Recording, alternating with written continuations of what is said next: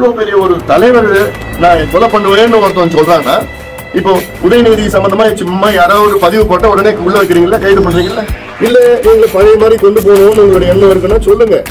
நாங்க எல்லாத்தையும் ராணுவத்துல இருந்து எல்லாத்தையும் நாங்க பார்த்தவங்க தான். பழைய நிலை வரணும் சண்டை போடணும் பிரச்சனை வரணும் ரெண்டுத்தையும் பிரிக்கணும் அது ஓட்டு வாங்கணும். இதுதான் அவங்களுடைய நோக்கம் அவங்களுடைய திராவிட மாடல் இதுதான் எவ்வளவு நேரம் நாங்க அப்படியே எல்லாத்தையும் பொறுத்து பொறுத்து புனிய புனிய கொட்டுறதெல்லாம் அதெல்லாம் எங்களால தாண்டா நாங்க தாங்க மாட்டோம் அதெல்லாம். மது அறிந்து விட்டு ஒரு கும்பல் பாட்டாளி மக்கள் கட்சியை சார்ந்த ஒரு இளைஞரை போதையிலே கடுமையாக தாக்கி அந்த இளைஞர் மயக்கமான நிலையில் மருத்துவமனைக்கு அனுமதிக்கப்பட்டார் அந்த இளைஞரை பார்ப்பதற்காக எங்கள் கட்சியின் மாவட்ட செயலாளர் செல்வ மகேஷ் அவர்களும் அதன் பிறகு வந்த வன்னிய சங்கத்தின் மாநில தலைவர் திரு அருள்மொழி அவர்கள் அந்த இளைஞரை பார்த்து செல்லதுரை என்ற இளைஞர் குடும்பத்திற்கு ஆறுதல் அளித்த பிறகு அவர்கள் மீது இன்று பார்த்தால் வழக்கு போட்டிருக்கின்றார்கள். நேற்று மாலை எங்கள் கட்சி மாவட்ட செயலாளர் உள்ளிட்ட பத்து நபர்கள் மீது வன்கொடுமை தடுப்பு சட்டம் எஸ்சி எஸ்டி ஆக்ட் போடப்பட்டிருக்கிறது. இவர்கள் செய்தது கடுமையாக தாக்கப்பட்ட அந்த இளைஞரை சந்தித்து ஆறுதல் அளித்தார்கள் அவ்வளவுதான். ஆனால் அதற்கு முன்பு இந்த வன்முறை கும்பல் ஒரு கூட்டத்தை போட்டு அந்த கூட்டத்தில் வன்னிய சங்க மாநில தலைவர் திரு பூத்தா அருள்மொழி அவருடைய தலையை நாங்கள் எடுப்போம் என்று மேடையிலே வெளிப்படையாக பேசியிருக்கின்றார்கள். இன்று வரை அவர்கள் மீது எந்த நடவடிக்கையும் எடுக்காத காவல்துறை தமிழக அரசு. நான் முதலமைச்சர் ஸ்டாலின் அவரிடம் கேட்ப கேட்கின்ற கேள்வி உங்களுக்கு கீழே தான் காவல்துறை இயங்குகிறது. சட்டம் ஒழுங்கு உங்கள் கையில் தான் இருக்கிறது. நீங்க கட்சியை கூட விட்டுடுங்க. கட்சியை விடுங்க ஜாதியை விடுங்க மதத்தை விடுங்க எல்லாத்தையும் விட்டுடுங்க. ஒரு நபர் மேடையிலே நான் இன்னொருவர் தலையை எடுப்பேன் என்று சொல்லி மூன்று நாட்கள் ஆகிறது. அவர் மீது எந்த நடவடிக்கையும் இல்லை. இதுதான் உங்களுடைய திராவிட மாடலா? இதுதான் உங்களுடைய லட்சணமா? இதுதான் காவல்துறையோட லட்சணமா இதான் இதான் சட்டம் ஒழுங்க. ஒரு மிகப்பெரிய ஒரு இயக்கம் வன்னிய சங்கத்தின் மாநில தலைவர் அவருடைய தலையை நான் எடுப்பேன் என்று ஒருத்தன் மேடையில பேசுறானா?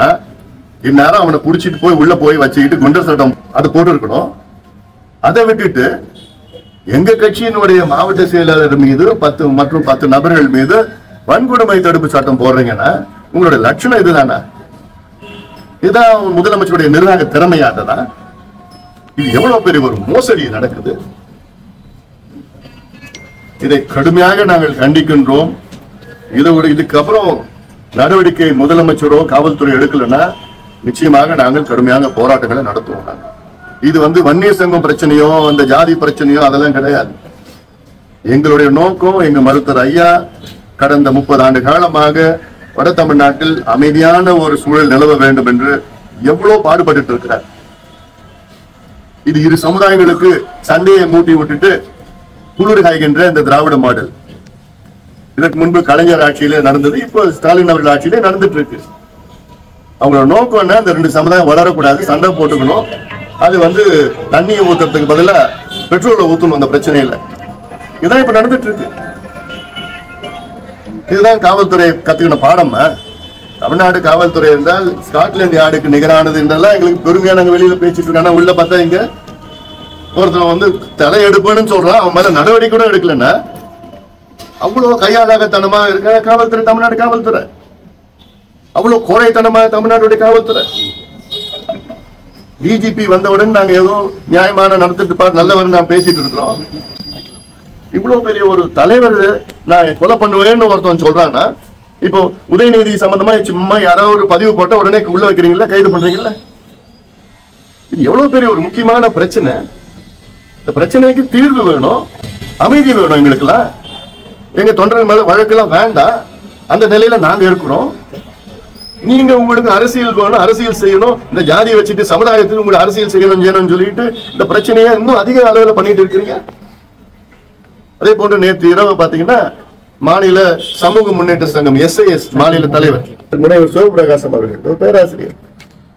அவர்கிட்ட கிட்டத்தட்ட ஒரு பதினஞ்சு இருபது பிஹெச்டி ஸ்டூடெண்ட்ஸ் இருக்கிறாங்க. அவரு ராத்திரில கூட்டிட்டு போய் காலையில ஆறு மணி வரைக்கும் போலீஸ் ஸ்டேஷன் வச்சிருக்கீங்க நாங்க அமைதியான முறையில அரசியல் செய்யணும் வளர்ச்சி அரசியலை நோக்கி நாங்க போகணும்னு எங்களுடைய எண்ணம். இல்ல நீங்க பழைய மாதிரி கொண்டு போகணும்னு உங்களுடைய எண்ணம் இருக்குன்னா சொல்லுங்க. நாங்க எல்லாத்தையும் ராணுவத்துல இருந்து எல்லாத்தையும் நாங்க பார்த்தவங்க தான் எதுக்கும் நாங்க பயப்பட போறது கிடையாது. எங்களோட நோக்கமே வளர்ச்சின்னு இருக்கிறோம். அதனாலதான் நாங்க எவ்வளவோ நாங்க எங்களுக்குள்ள நாங்க சுய கட்டுப்பாட்டோட நாங்க இயங்கிட்டு வரோம்.